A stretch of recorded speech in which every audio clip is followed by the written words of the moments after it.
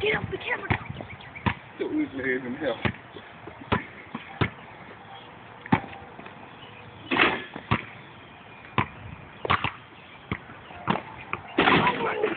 Oh Damn, I almost died.